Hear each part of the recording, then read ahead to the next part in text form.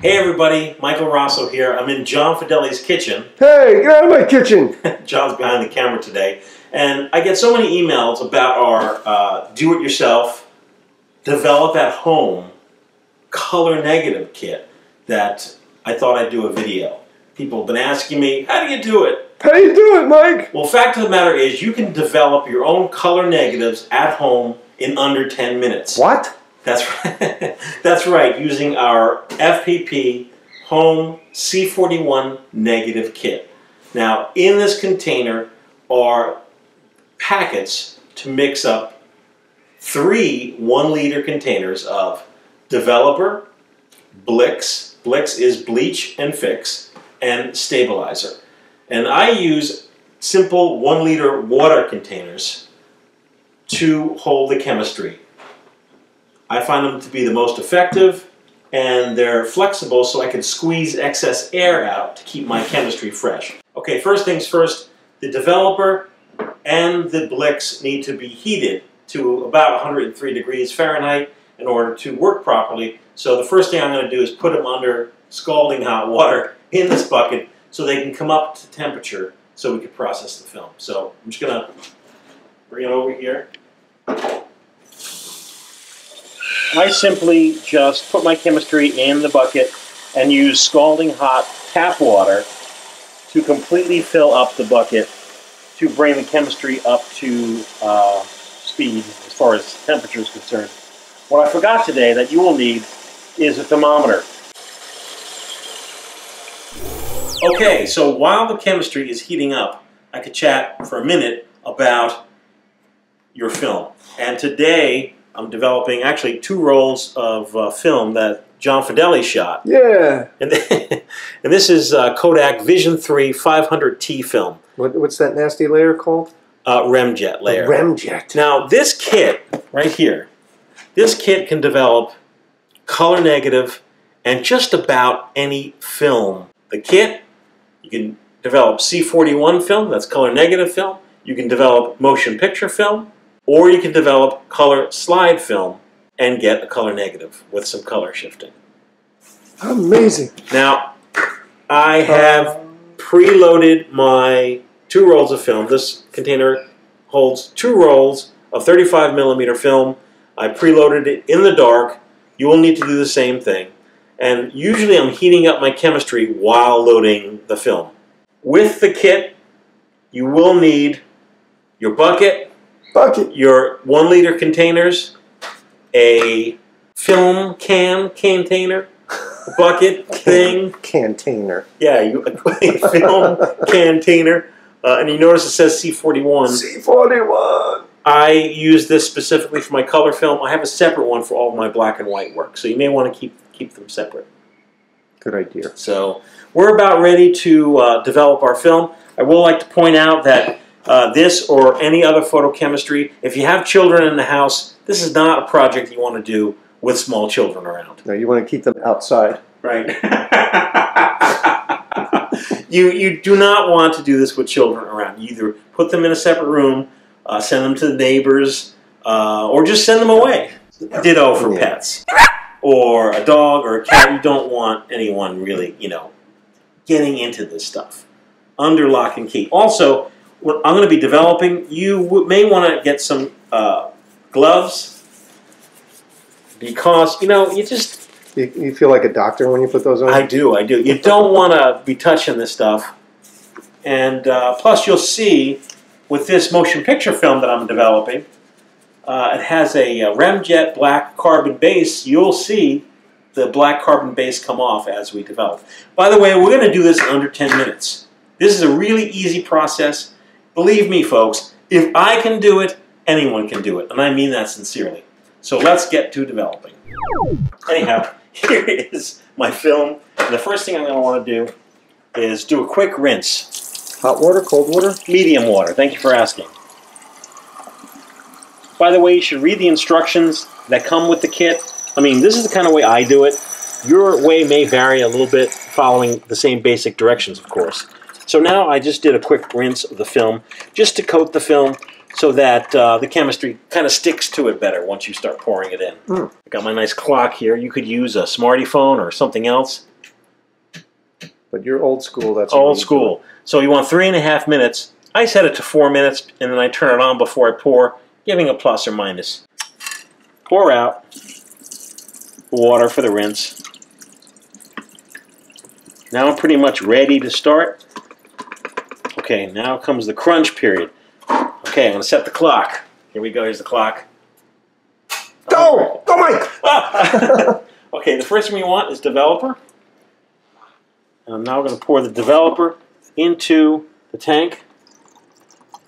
All the way to the tippy top. Well, mm, um, yeah, I have two rolls of film in here, so you want to fill most of it.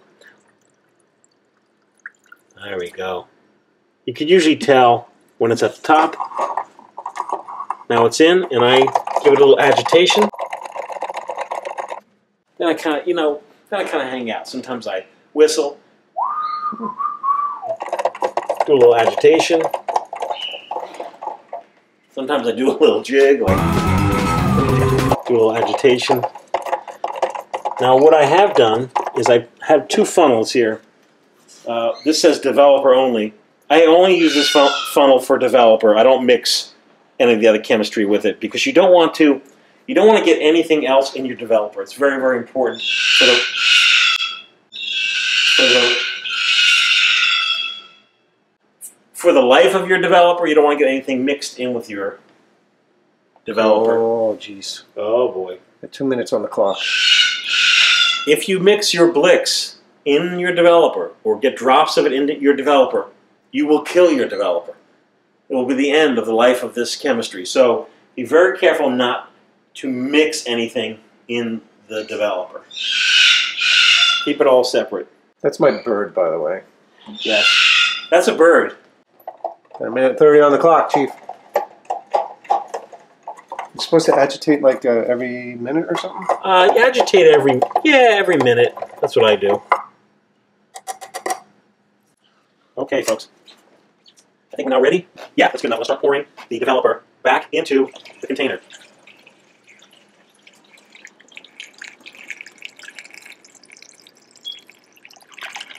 Now, after the developer, there's no rinse.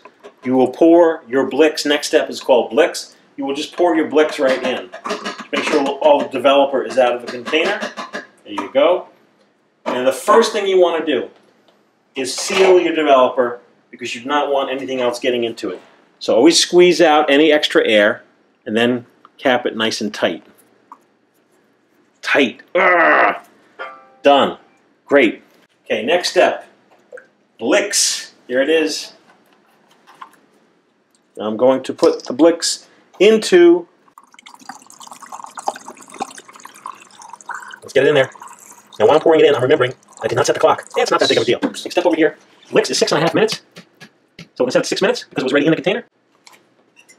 It's now in the container, as you can see. Give it a little agitation.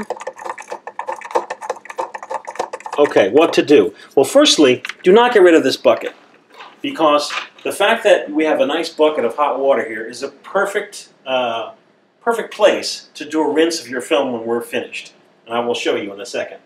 Also have a little bit of time, so putting everything aside, I'm going to take my developer funnel and nicely rinse it out. Remember, we don't want any other chemistry getting close to anything having to do with the developer. So just clean that out, nicey nice, and just put it off to the side with the developer. Okay. Meanwhile, back the clock. Hmm. Now, this is where you can get the most creative with coming up with new songs, poems, or dances. So, we're here with the Blix. We're just minutes away, folks, from having negatives. Our very last step, when we're done over here, will be what's called stabilizer. This does not need to be heated, so you know, you kind of just let it hang out. Folks, by the way, while we're waiting for the uh, Blix to finish up, I will make some notes about uh, your chemistry. This chemistry, as of today, June 7th, 2016, as you can see, this chemistry was mixed over six months ago, October 7th, 2015. The general life of a developer kit is about six months.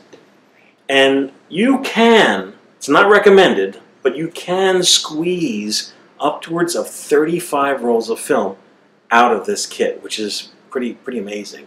After about six months, just get yourself another kit and mix yourself up a nice fresh batch. Uh, time is uh, the enemy, and air is the enemy.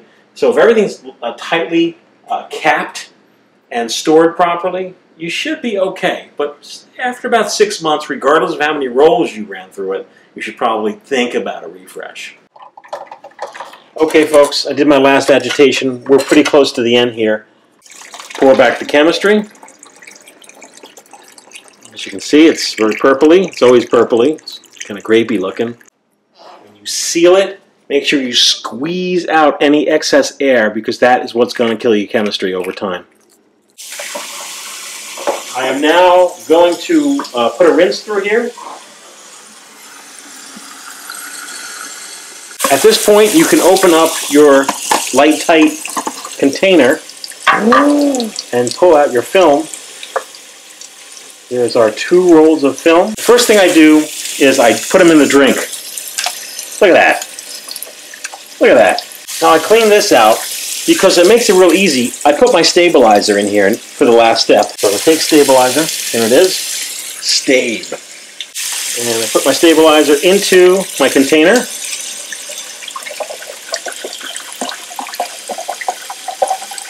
Now normally with regular C41 or even E6 slide film that you're cross processing to negatives, you'd be kind of done. You would you would just rinse off and put put the uh, you would just rinse off and put this into uh, your stabilizer. But because this is a motion, Nina, stop.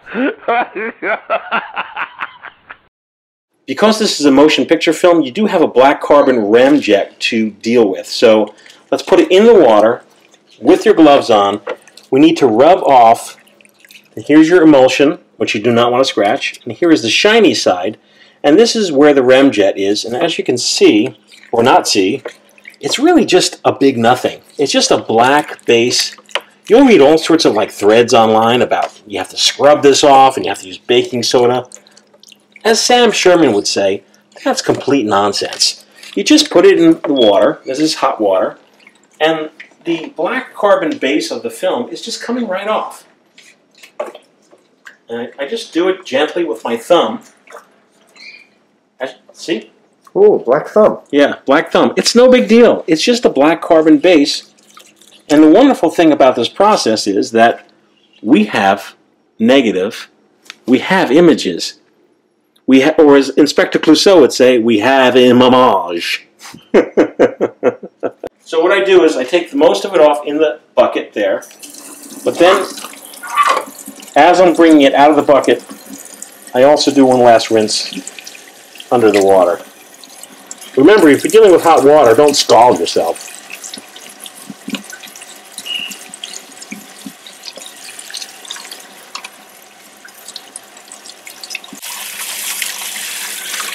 Nice.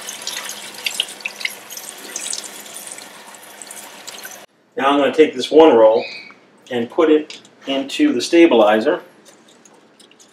Just throw it in there. Throw it in. And you leave it in the stabilizer. Well, follow your directions. I leave it in there about a minute or so. I think that's what the directions say. What you will need to do, of course, is uh, do the same steps for your second roll of film. Usually while it's in the stabilizer, I rinse off my second roll of film. Remember, you can't believe everything you read online. I mean, there are lots of threads about, oh my god, the remjet, whoa, oh, it needs to be sandblasted off. Nonsense This comes right off. Now, I can only speak for Kodak film, by the way. I've never processed Fuji motion picture film. It's, it's possible their remjet is a little different. I'm really not sure. And now we're ready to hang our film. Uh, I forgot my squeegee. Stoops. I know, I know. And your thermometer. So, uh, and my thermometer. So I'm just going to squeegee with my fingers. Like that. And I'm also going to squeegee with a plain old Really? paper. Yeah, can you believe it? With a plain old paper towel, just like so. That's it. We're done. So there we have it, folks. Let's take a look at some images that were processed using the FPP color negative kit. Here we go.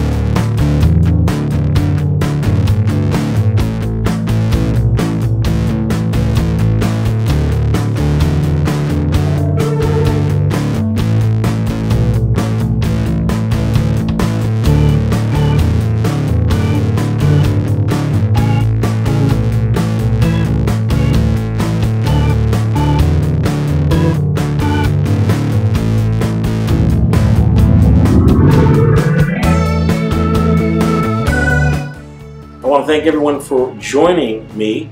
Uh, the FPP C41 kit, it's under $20. You can do up to 35 rolls of film, color negative, from color, film, regardless of what it is. It really is the most amazing thing. Please do take advantage of it. And please do visit us online, filmphotographyproject.com. See you soon.